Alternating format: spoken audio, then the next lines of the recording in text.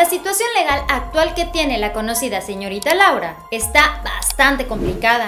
Algunos famosos han dado a conocer sus opiniones y en esta ocasión fue la hija de Magda Rodríguez, Andrea Escalona, a través de una entrevista, la también conductora afirmó que no comprende por qué Laura Bozo, con todo el dinero que ha ganado a lo largo de su carrera, no fue capaz de pagarle a las autoridades mexicanas y así, con ese pago, quitarse todos los contratiempos que tenía encima. La conductora peruana se ha salvado de llegar a las instalaciones de la policía, en primer lugar por el amparo que interpuso, para que así, justificándose, no se la llevaran con la policía, pero el pasado 31 de agosto, un juez de la Fiscalía General de la República volvió a autorizar la orden de que la policía se la llevara a sus instalaciones. Esto debido a que la peruana no entregó su pasaporte, ni el pago que le habían dicho, de 300 mil pesos. Esto fue una parte del acuerdo que llegó Laura Bozo con la policía, como para que ella tuviera un poquito de tiempo y no llegase a estas instalaciones.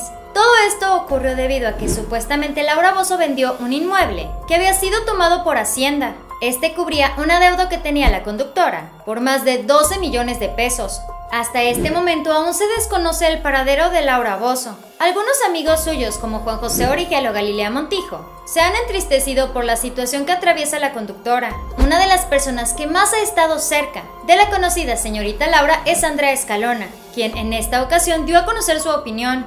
Vale la pena mencionar que tan solo el año pasado Laura Bozo estuvo viviendo en casa de Magda Rodríguez, la famosa productora quien tristemente partió de este mundo. En noviembre del 2020, estuvo liderando la primera temporada del nuevo programa de la señorita Laura, en varias ocasiones, Laura Bozo ha mencionado que Magda la salvó de la enorme tristeza que tenía, no solamente por haberla ayudado en este proyecto, sino por también haberla acogido en su casa. Sobre esto, Andrea Escalona mencionó en una entrevista, Laura vivió en mi casa, vivió con Magda, vivió con nosotras este último año, que no pensamos que fuera tan difícil.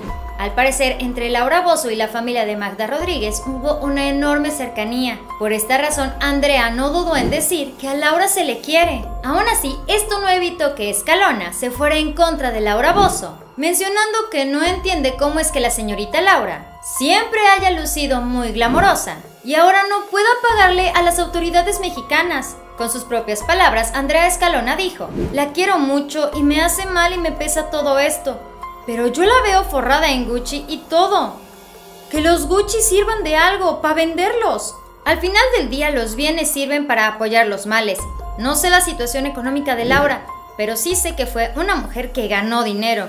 Y creo que vender las cosas podrían solucionarlo. Sin pelos en la lengua, Andrea Escalona dijo que su gran amiga podría estar efectivamente mal asesorada, que este puede ser uno de los factores que la han llevado a ponerse de nueva cuenta como una persona que está siendo buscada en muchísimos países por la policía. Esto fue Famosos de cerca. Dale like a este video, suscríbete y síguenos en Facebook. Espero que tengas un excelente día. Nos vemos muy pronto. Bye.